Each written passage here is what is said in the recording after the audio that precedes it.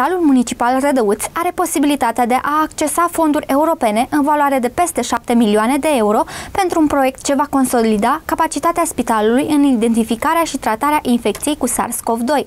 Mai multe detalii aflăm de la managerul unității Traian Andronachi, precum și de la consilierul local Florin Preda, care s-a implicat voluntar pentru a sprijini spitalul. Spitalul Municipal Rădăuț a finalizat astăzi, 7 august 2020, a finalizat documentația tehnico-economică, iar Consiliul de Administrație a avizat indicatorii proiectului de consolidare a capacității Spitalului Municipal Rădăuț în identificarea și tratarea infecției cu COVID-19. Valoarea proiectului este de 7.298.000 de euro, iar luni documentația va fi depusă la Direcția de Sănătate Publică Suceava pentru viză.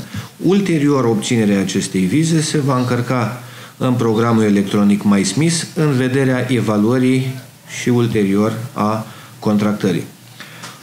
Precizăm că acest proiect a fost uh, posibil datorită deschiderii programului uh, operațional de infrastructură mare. E vorba de axa prioritară nouă, iar obiectivul specific îl regăsim încadrat la uh, anexa 9 cu 1. Se cheamă creșterea capacității de gestionare a crizei sanitare COVID-19. Uh, așa cum vă dați seama, uh, pentru că ne aflăm împreună la acest birou, în uh, realizarea acestui proiect, acestui prim pas din uh, uh, proiectul care urmează să-l depunem, am beneficiat de sprijinul domnului consilier local Florin Preda, care îi mulțumesc pe această cale. Îi dau cuvântul să vă mai dea câteva detalii. Ulterior precizez din ce este format acest proiect și ce aparatură conține.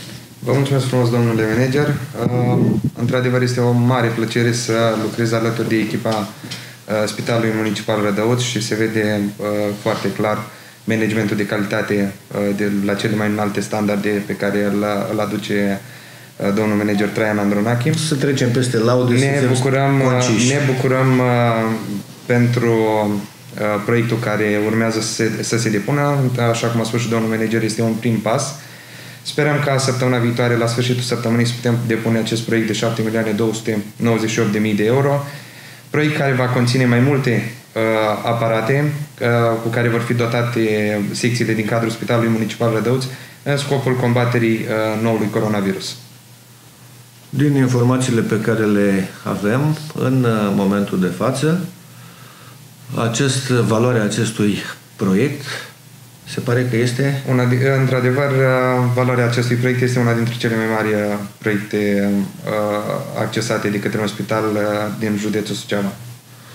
Să de Dumnezeu să avem uh, noroc și să ne fie uh, admis proiectul, pentru că documentația îndeplinește rigorile cerute de uh, Uniunea Europeană în uh, materie.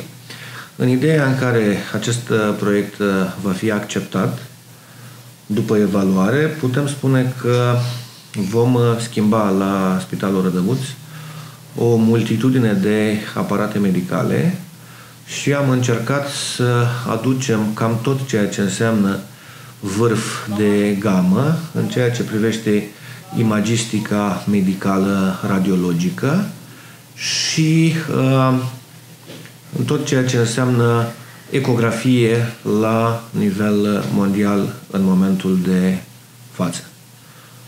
Așadar, cu încredere și cu speranță, astăzi, data de 7 august, a fost făcut primul pas în ceea ce privește depunerea uh, viitorului proiect.